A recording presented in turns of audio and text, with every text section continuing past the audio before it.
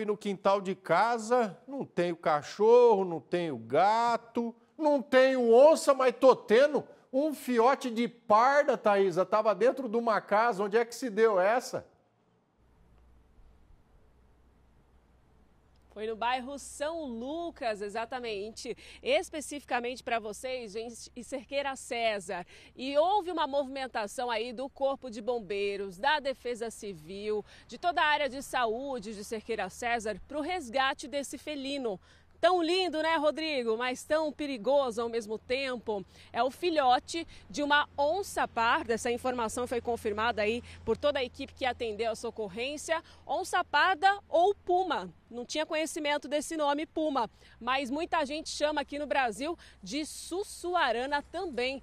Aí você está na sua residência, como você disse aí, de repente ouve aquele barulho diferente, hora que vê o filhote de uma onça parda. Houve, portanto, esse resgate aí, esse resgate, vocês estão vendo as imagens deste que parece um gato gigante, né? Esse felino maravilhoso, filhote de onça pintada. E, Rodrigo, é, onça parda, melhor dizendo, a gente teve a informação, e aí é que tá o que da coisa, né? Que esse filhote, ele pode ter aí fugido, né, por conta de queimadas. Essa é uma possibilidade ali, segundo os agentes que avaliaram.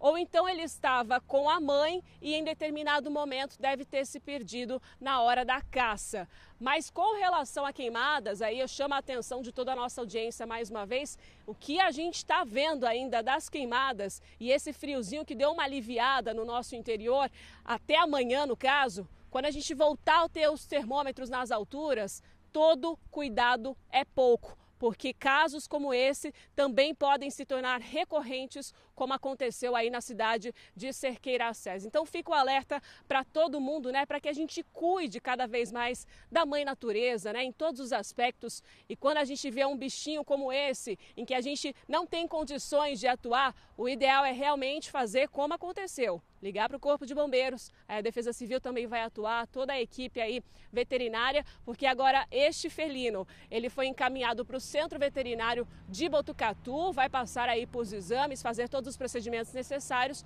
para só depois ser devolvido à mãe natureza. Rodrigo.